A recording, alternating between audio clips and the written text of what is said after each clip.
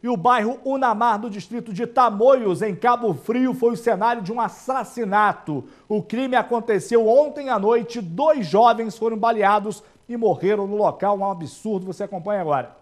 Dois jovens foram assassinados na noite desta segunda-feira na rua Guiomar Novaes, antiga Rua das Capivaras, no bairro Unamar. A comunidade fica no distrito de Tamoios, em Cabo Frio. O crime, segundo a polícia, teria sido motivado pelo tráfico de drogas. No momento do crime, três jovens estavam na rua. Um deles conseguiu escapar. Os outros dois foram baleados. Uma das vítimas foi identificada como Gabriel da Silva, de 20 anos, também conhecido como Gabriel Cicatriz.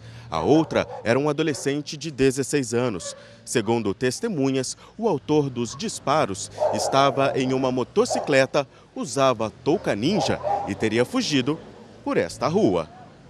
Ainda segundo a polícia, Gabriel tinha antecedentes criminais. Ele respondia desde 2014 por associação para o tráfico.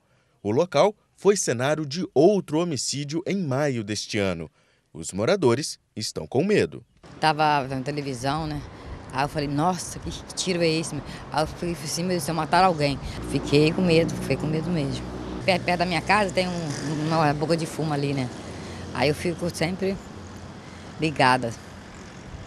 Não é mole não, só Deus mesmo, só Deus mesmo. Felizmente está aí a violência no interior do Rio de Janeiro e a polícia ainda não tem suspeitos. Os corpos dos jovens foram levados para o ML de Cabo Frio e o caso registrado na delegacia da cidade.